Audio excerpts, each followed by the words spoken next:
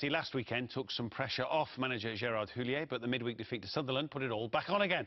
The Frenchman took his team to Bramall Lane today to face Sheffield United, third bottom of the Premier League versus fourth bottom in the Championship.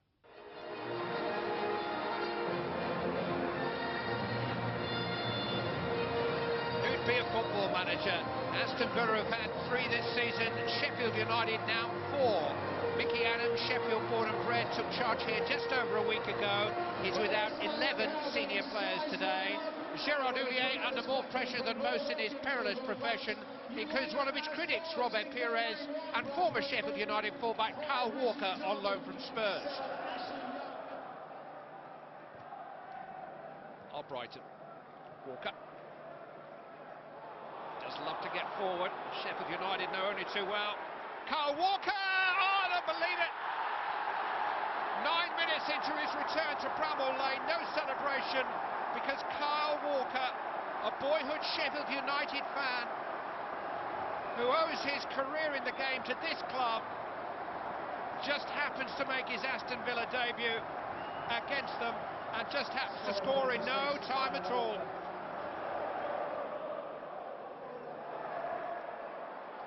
And making time and space for himself. Bonlahor.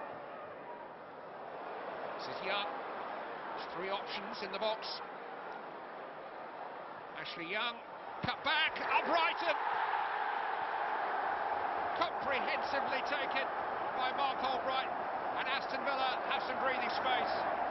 Ashley Young picked out one of the three men in support, and that man, Marc Albrighton, did not disappoint. Myrtle racing forward. Williamson flicks it on, and here's Jamie Ward with support. Trying to fit it back to Montgomery, who is outnumbered. Ward with another opportunity to cross.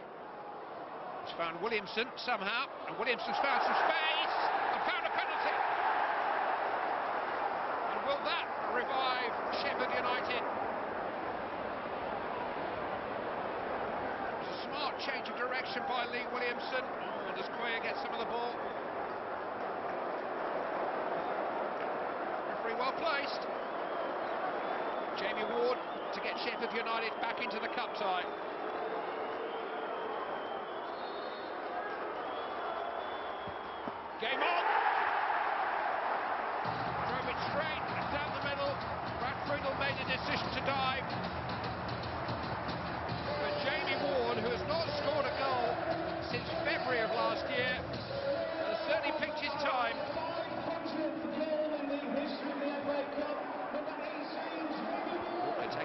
Chance. Ooh, a big chance, Bogdanovic.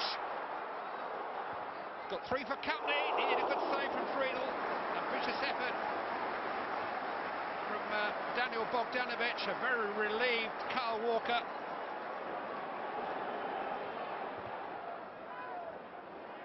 Young saw Butley coming. Free kick to Sheffield United. Oh, and Ashley Young is going to be shown a second yellow card for that. And Aston Villa are going to have to play the last 15 minutes or so with 10 men. Petrov couldn't clear. Walker can do more than that. He's going to find a way out here, Carl Walker. And he's got support right and left. Gabiak He's got the extra man at the moment. Albrighton. Villa happy to keep it in the circumstances. Petrov, Albrighton, Stiliyan Petrov! That'll do it! Aston Villa's captain puts the tie to bed. Well worked between Albrighton and Petrov. Premier League class told in the end. When I knew that uh, Aston Villa was interested in me, I, always, I knew the next fixture was Sheffield United because I'm a Blades fan myself. So I was I was dreading it, but I was excited as well to come back to Bramall Lane and see the fans and everything. You really didn't know what to do when you scored, did you?